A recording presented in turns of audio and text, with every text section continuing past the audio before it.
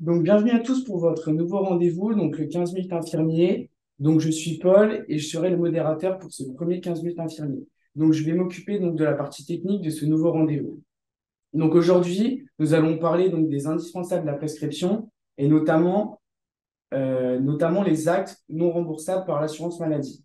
Donc, en attendant que tout le monde se connecte, avez-vous déjà eu des, des prescriptions d'actes non remboursables? Je vous laisse écrire euh, la réponse dans le module questions-réponses. Et maintenant, je vais vous laisser avec nos deux intervenants du jour pour, qu'ils puissent se présenter. Bonjour à tous, Jean-Pierre Chasseny, délégué assurance maladie. Bonjour, Olivier Bégoc, également délégué de l'assurance maladie. Donc, nous avons longuement réfléchi pour préparer ce programme afin de vous, proposer le meilleur format. Donc, ce 15 minutes infirmier, il a pour but de vous donner les informations en 15 minutes chrono avec un temps d'échange à la fin. Pour que ce 15 minutes puisse se, dérouler au mieux. Je vais vous rappeler deux, trois petites règles de bienséance. Je vous prie de garder vos micros fermés euh, et d'envoyer un message dans le chat en cas de problème. Je vous laisse aussi écrire vos questions dans le module questions-réponses et nous les traiterons donc, comme j'ai dit précédemment, en fin de présentation. La présentation est enregistrée car nous voulons la réutiliser pour la proposer en replay à vos confrères qui n'ont pas pu se connecter ou vous si vous souhaitez la revoir. Maintenant, Jean-Pierre, pourquoi les 15 minutes infirmiers donc, bon, tout d'abord, aujourd'hui, ben, vous l'avez compris, nous ne parlerons pas de webinaire, mais bien du 15 minutes infirmier, votre nouveau rendez-vous euh, pour être informé de votre actualité. C'est un rendez-vous court, précis et pratico-pratique qui correspond à une demande de votre profession. Aujourd'hui, ce premier 15 minutes infirmier concerne les indispensables de la prescription. Premièrement, la qualité de la rédaction de l'ordonnance du médecin permet une facturation précise des actes prescrits. Ma question, Olivier, comment se compose une bonne prescription? Alors, une ordonnance type, euh, tout d'abord, doit mentionner si les soins sont en rapport avec une LD exonérante ou non.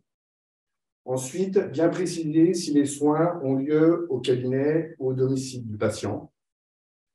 Euh, doivent être mentionnés le début, euh, enfin, la date du début des soins, leur fréquence, la durée de la prescription et aussi le nombre de passages par jour. Après, si c'est des soins qui sont effectués tous les jours, précisez de, mentionner dimanche et jours fériés inclus. Et enfin, s'il s'agit par exemple d'une injection, euh, de ne pas oublier de préciser la voie d'administration. Très bien. Mais on concède parfois des prescriptions avec des actes non remboursables par l'assurance maladie. Olivier, qu'est-ce qu'un acte non remboursable? Alors, un acte non remboursable, c'est un acte hors nomenclature, donc il représente un soin qui n'est pas pris en charge par l'assurance maladie.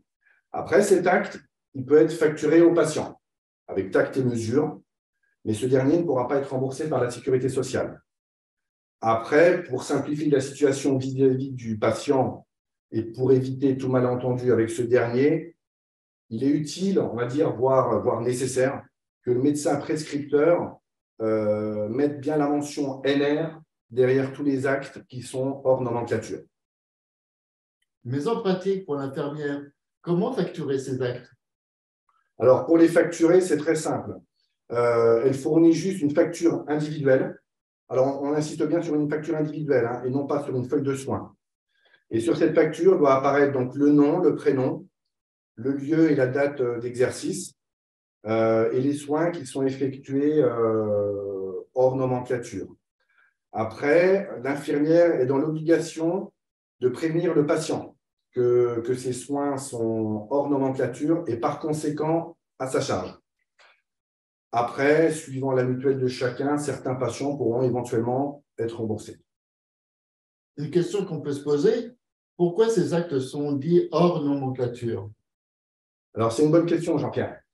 Pourquoi ils sont hors nomenclature? C'est vrai qu'ils font partie du décret de compétence, mais il faut bien distinguer euh, ces actes qui sont hors nomenclature. Ils sont pratiqués quotidiennement, ils sont nécessaires au bien-être du patient, au bon suivi de son traitement mais l'assurance maladie considère que ces soins peuvent être effectués par une auxiliaire de vie, ça peut être la famille, ça peut être une tierce personne. Peux-tu nous citer quelques actes hors nomenclature Alors, concernant les actes hors nomenclature, Il n'y a pas une liste prédéfinie, mais on peut en citer quelques-uns. Les principaux qu'on retrouve le plus souvent, donc c'est euh, bah, préparation du pilulier, pose de bas de contention, euh, application d'une pommade, installation de collier, euh, une prise de tension isolée. Après, c'est une liste qui est non exhaustive. C'est vrai que ces actes-là ne donnent pas lieu à une cotation individuelle.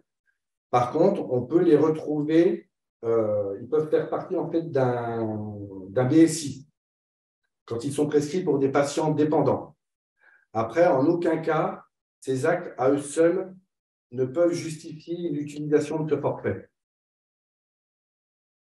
C'est bien, Olivier, de parler de BSI. Justement, ce qui est important par rapport à votre rendez-vous aujourd'hui, euh, c'est de voir l'actualité du jour. Eh ben, figurez-vous que vendredi dernier, vendredi dernier, je dis bien, l'avenant 10 a été signé, votre avenant 10, et le BSI sera ouvert à tous, je dis bien à tous, à partir d'octobre 2023.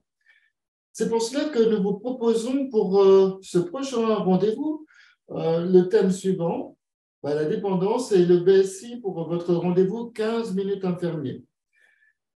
Réservez dès à présent votre jeudi 13 juillet à 14h45 pour évoquer ces sujets. Je vous propose de donner la parole à Paul pour répondre bah, à vos questions. Merci Jean-Pierre et Olivier pour vos interventions. Donc, je vous propose maintenant du coup qu'on passe euh, aux questions. En attendant que vous les écriviez dans le module questions-réponses, on en profite pour vous faire un, petit rappel.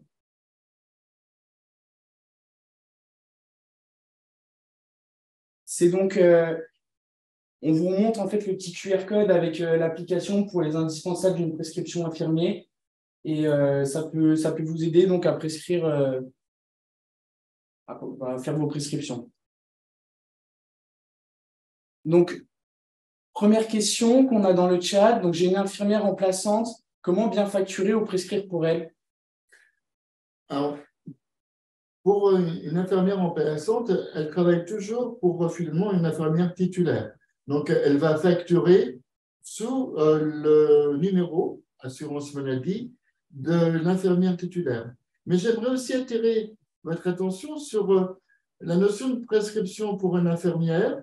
Si une infirmière est amenée à faire une prescription et qu'elle est remplaçante, elle doit marquer donc euh, l'infirmière titulaire qu'elle remplace et également son numéro assurance maladie. Ça, c'est important surtout pour euh, faciliter le travail au niveau du pharmacien, qui sera dans la délivrance. Voilà, sinon, au niveau de la remplaçante, euh, elle travaille vraiment sous la responsabilité de l'infirmière. D'accord? Merci Jean-Pierre pour ta réponse. Euh, une deuxième question. Euh, que pouvons-nous faire pour la prise médicamenteuse des patients? Alors, concernant la prise médicamenteuse des patients, il y a plusieurs situations qui peuvent se présenter. On va prendre déjà, dans un premier cas, les patients atteints de troubles cognitifs.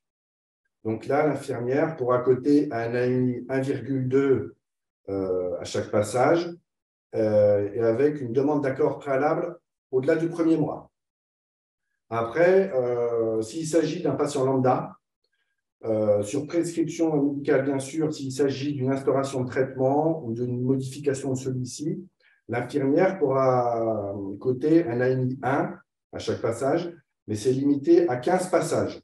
Donc, ça peut être un passage quotidien pendant 15 jours ou trois passages par jour pendant 5 jours. Mais c'est vraiment limité à 15 passages. Et le dernier cas qui peut se présenter, euh, c'est maintenant depuis, on va dire, bientôt un an et demi, euh, le médecin prescripteur a la possibilité euh, pour les patients qui sont non dépendants, polymédiqués et qui présentent des critères de, fragilité, de, prescrire des, séances pour une thérapeutique orale ces séances, elles correspondent à quoi? C'est alors c'est ben, déjà l'adhésion du patient à son traitement. Est-ce que le, patient est bien observant? Euh, Voir la gestion des stocks avec lui. Est-ce que le patient a des effets indésirables? C'est un petit, Ça englobe un petit peu tout ça. Après, c'est limité à trois séances sur euh, le mois, puisque la prescription. Donc, la première séance, elle est cotée euh, à 5,1 et les deux autres, 4,6. Euh, ces trois séances, elles peuvent être renouvelées euh, dans les 12 mois qui suivent. Euh, après, si ces trois séances ne suffisent pas dans le premier mois, elles peuvent être suivies par, par ce que je vous ai dit tout à l'heure, un AMI 1 sur 15 passages. Merci Olivier pour ta réponse. Une troisième question, qu'est-ce qui est pris en charge pour les toilettes? Alors, concernant les toilettes, euh, il faut bien distinguer, on va distinguer déjà les, toilettes simples, dites sociales, entre guillemets, et les toilettes médicalisées. Euh, donc, ces, toilettes, on va les retrouver, elles vont faire partie euh, d'un BSI, pour patients dépendants. Par contre, la toilette simple, à elle seule, ne justifiera pas l'utilisation de ce forfait. Qu'est-ce qu'on entend par une toilette simple? C'est une personne qui ne peut pas prendre sa douche, qui ne peut pas se laver le dos ou les pieds, par exemple. Mais là, on considère que c'est une auxiliaire de vie, la famille ou une tierce personne qui effectue cette, cette toilette. Et ce qu'on entend par une toilette médicalisée, c'est vraiment une toilette qui est là pour éviter, on va dire, euh, toute complication infectieuse euh, ou cutanée. Merci Olivier. Et on va finir par une dernière petite question. Est-ce qu'il existe des modèles de prescription de soins infirmiers à proposer à nos médecins afin de s'assurer qu'elles soient correctes c'est intéressant cette question car en tant que délégué de l'assurance maladie, nous avons été amenés à présenter aux médecins prescripteurs euh, des modèles de prescription. Parfois, et je découvrais vraiment des prescriptions qu'ils n'ont jamais l'habitude de, faire. Donc, euh, surtout pour vous, euh, ne soyez pas surpris ou surprise lorsque ben, le médecin n'est pas au courant d'une prescription que vous pourriez conseiller pour une personne. N'hésitez pas à échanger avec votre médecin, c'est lui le prescripteur, donc euh, pour les informations. Et sinon, si la relation est des fois difficile, n'hésitez pas à vous rapprocher de votre délégué d'assurance maladie. Nous pourrons tout à fait apporter euh, des informations sur euh, comment bien prescrire des soins infirmiers auprès des médecins de votre secteur. Voilà. Merci à tous du coup pour votre écoute. Donc, j'ai noté toutes vos questions et on reviendra vers vous pour les traiter. J'espère que vous aurez apprécié ce format et si c'est le cas, vous pouvez le lever la main pour nous donner un peu euh, une idée, une première idée. Et donc, on va essayer de tenir un bon calendrier. Nous allons donc vous envoyer en début de semaine prochaine par mail une fiche mémo avec le rappel des principales informations. En plus, nous allons vous transmettre un petit questionnaire de satisfaction qui ne vous prendra pas plus de deux minutes mais ça nous permettra de comprendre un peu ce que vous avez apprécié au monde dans nos premiers 15 minutes. Et le but, c'est qu'on améliore notre offre au fur et à mesure et qu'elle devienne de plus en plus complète. Donc, je vous souhaite une bonne fin de journée à tous et j'espère vous retrouver donc, le jeudi 13 juillet à 14h45 pour parler de dépendance et du BSI. Merci à tous. Merci à tous. Merci à tous.